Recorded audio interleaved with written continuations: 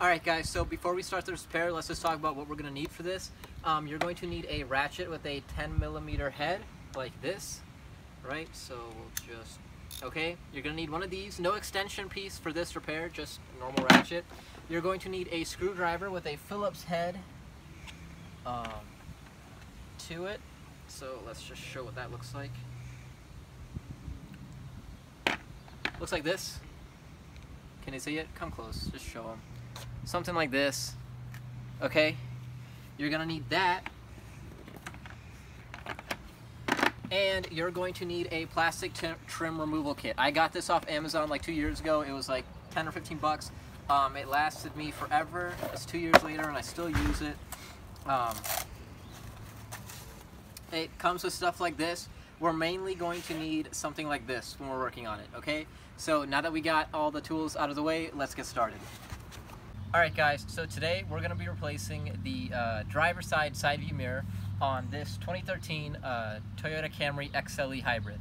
And uh, so the side view mirror that I got is uh, aftermarket, it's not OEM from Toyota, and I got it from Platinum Plus, right? Um, it looks just about identical and it looks like this, okay? It comes with one mirror and a cap that's uh, painted body color to the car um, so the first step in replacing your mirror, if you buy it from Platinum Plus, right, that's what they're called, is uh, if you can see this mirror just has a bunch of clips on the inside, or this cap, all you want to do is line it up with your mirror, like this, and pop the clips in.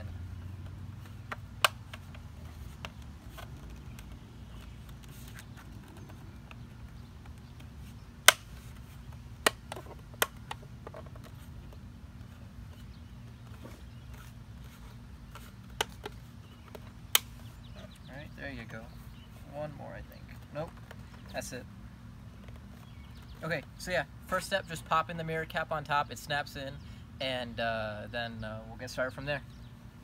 Okay guys, so for this first step, you're gonna need a plastic trim removal kit uh, like this, and you're going to need a smaller uh, trim removal piece like this, or you could use a flathead screwdriver. I don't like those things because they normally scratch up trim pieces, but either one works.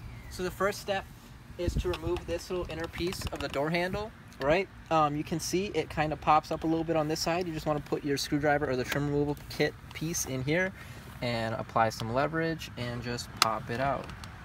There you go. And you want to pop it out and uh, as you can see there's a little screw in there, right? You're going to want to go ahead and remove that screw with a uh, Phillips screw head driver. What? A uh, Phillips screw head driver. A uh, Phillips screw head driver.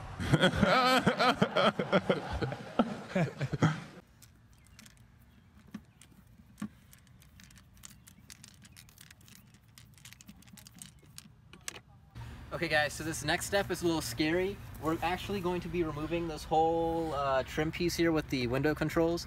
Um, it sounds a little scary, but it's really not that hard. You still need that plastic trim removal uh, piece, and you want to go in right from the top right? And right in the middle between where it meets this uh, hard and cheap little plastic, you want to shove that trim removal piece in and just pop it off. Let's see, come on. Yep, there you go. And uh, you can see some wiring harnesses back there. You're want to unclip those. Let's just keep it rolling and unclip these joints. Oh, jeez, I don't want to break this. Um,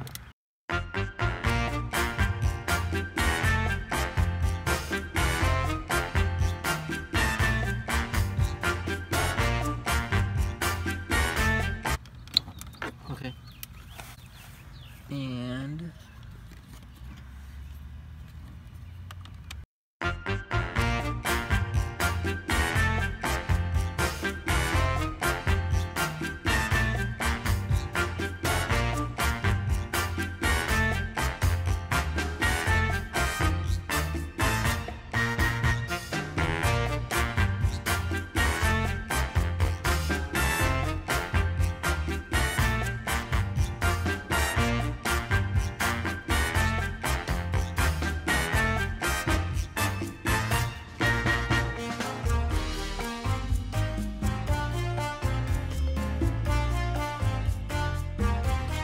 Okay guys, the, the front one as you saw came out really easily, but this rear one is tricky.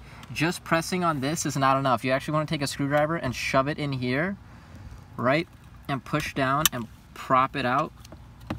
Let me show you here. See, you want to get it as close to the edge as possible, push down, and then while you're pushing down, kind of push it out. Nope, I didn't get it. Let's see here one last time. There you go. See, see how I kind of push forward? Then it just easily comes right out. Just wiggle it a little bit, and there you go. It is disconnected, and make sure I didn't do any damage here. Yep, completely disconnected. Okay guys, so uh, for the next step, we're gonna remove two more screws. We're gonna rem remove this one that we just uh, exposed, right? So same type of screw all around. Go ahead and just, jeez man.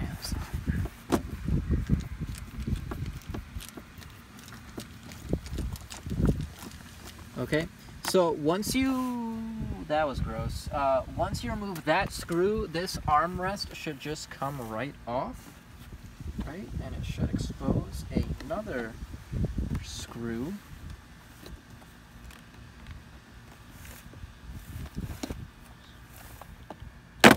There we go.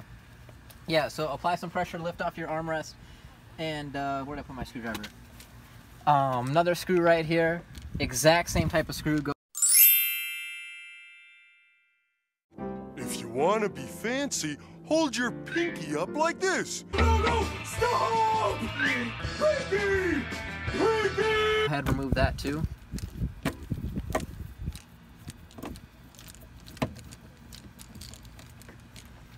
All right, there we go.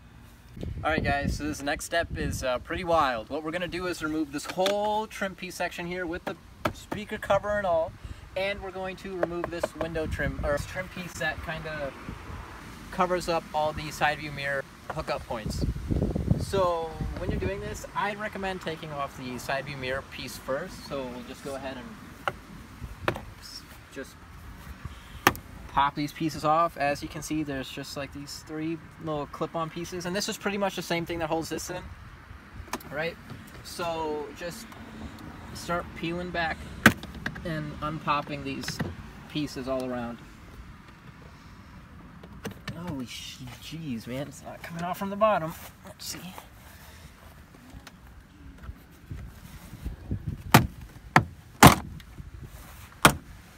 Go all the way around and just. Oh, is this two piece?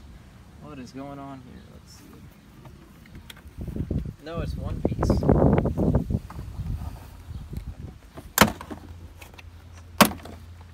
That was a dead bug. That's gross. Um,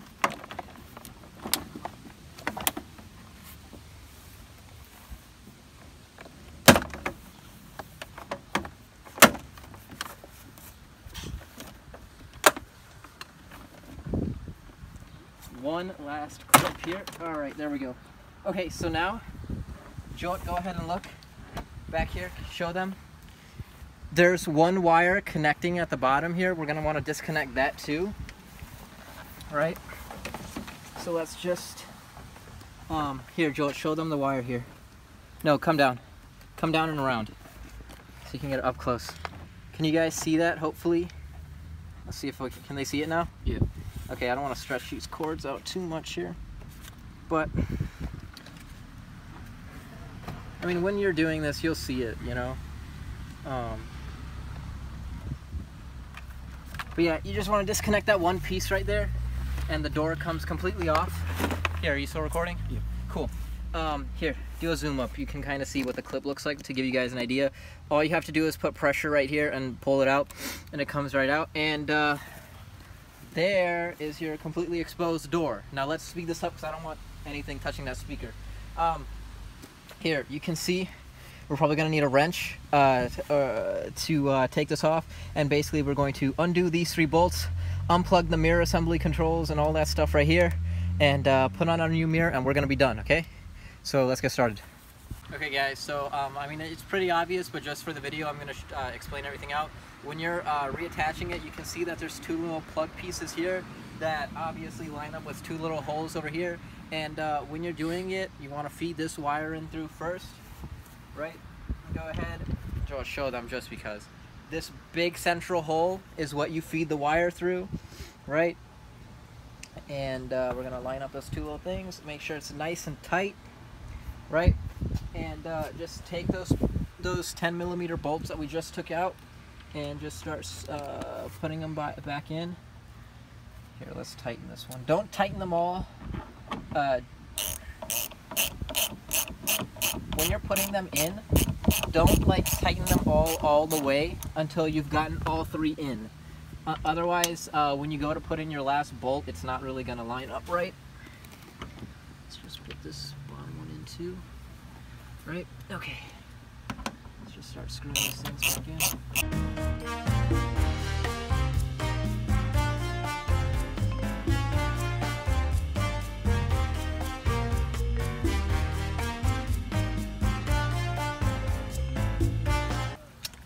Okay, so now that this is on nice and tight, right?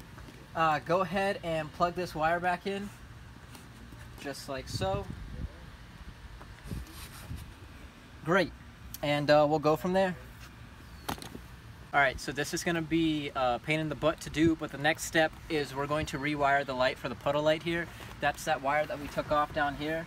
Uh, so go ahead and let's see here. I Might need some help doing this, but go ahead, line this up, and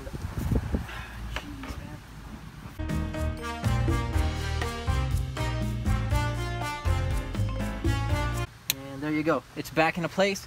And now we just want to snap and click all these little things. Look, these are what we're gonna pop in. You see these are gonna pop into these holes all around the door. Just line them all up with the little holes and we're just gonna push it right back in. Uh, let's see. I guess a little higher than that, right around here. Oh, make sure you start taking some of this out, stuff through the doors too. Look, door handle actually goes in through here.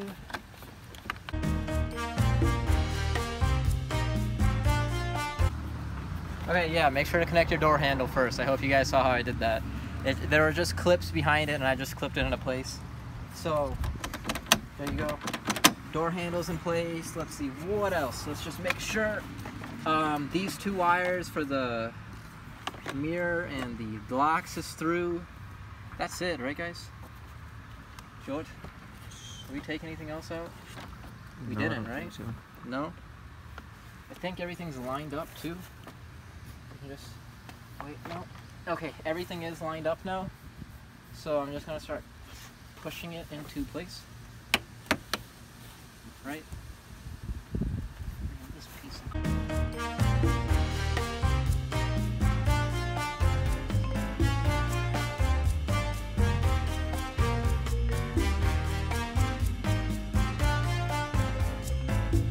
I wanna make sure, I mean, I know it looks like I'm being stupid here. It stupid looks here. loose. What? It looks loose Does it?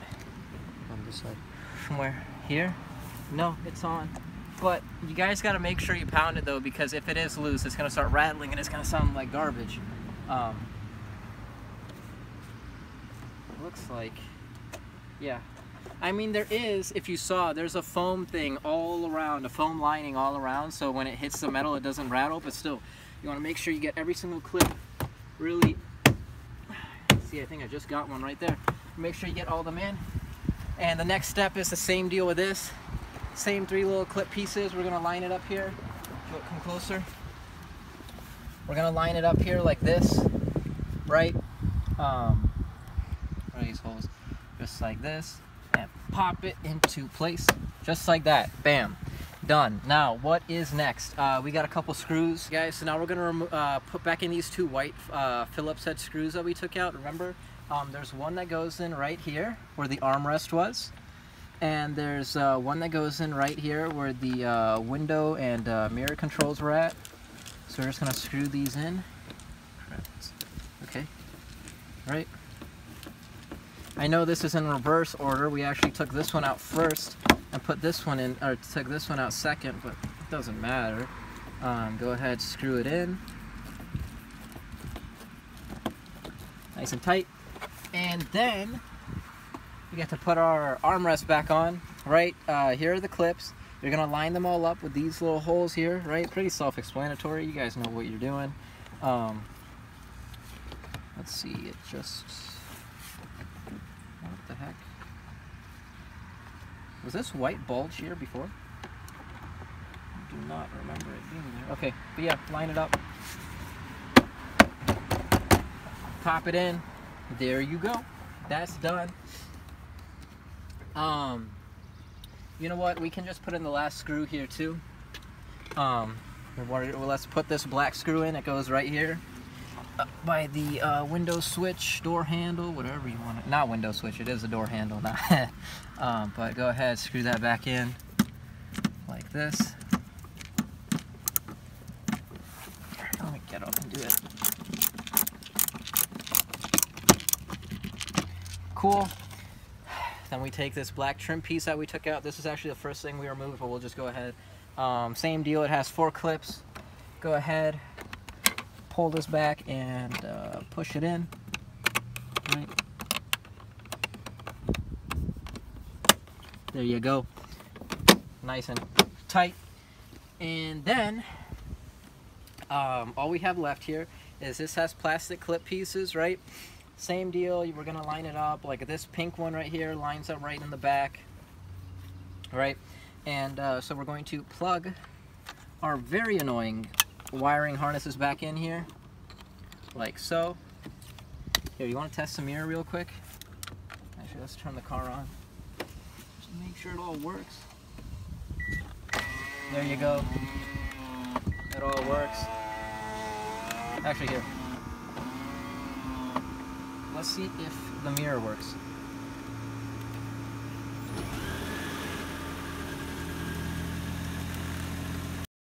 Oh wait, I was controlling the right side. Oh, there you go.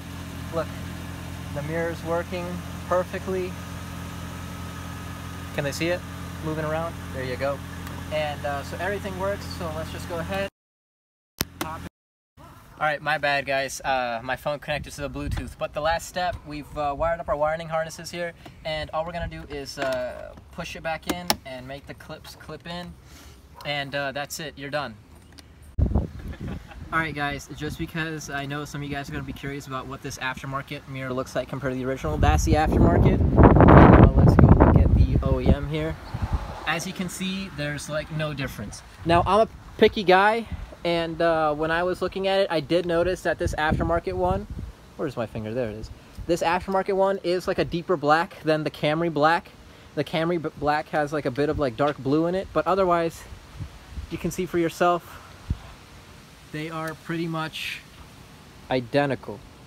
Okay, nobody's really gonna notice, and uh, really, I'm being like super, super picky here. It is like, it is like, I'd say 98% spot on with OEM. So yeah, there you guys go. Hope it helped. Alright guys, so that was a very quick little tutorial on how to change the uh, side view mirror on your Toyota Camry. Uh, I hope this helped you guys, and uh, I'll see you guys next video.